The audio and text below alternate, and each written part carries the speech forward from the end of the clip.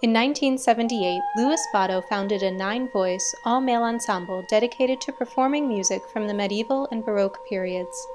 His vision gave us Chanticleer. Almost exactly 30 years later, another visionary started her own choral ensemble, featuring nine women's voices and a commitment not only to early music, but to commissioning and performing contemporary music, the newest of the new. Beth Willer is the conductor and founder of the Lorelei Ensemble, a chorus challenging and inspiring audiences in a new way in the heart of historic Boston.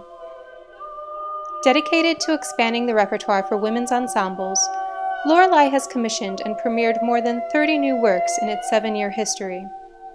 And each concert combines the old with the new. A recent program featured works from both 20th century composers all the way to a world premiere work by David Lang, set to 20th century poetry, of course.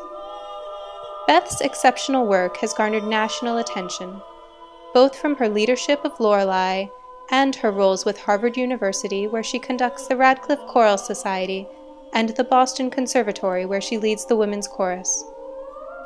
Beth Willer and Lorelei clearly evidence the entrepreneurial zeal and innovative spirit that led Louis Botto and Chanticleer to fame. We can only imagine what she will do next.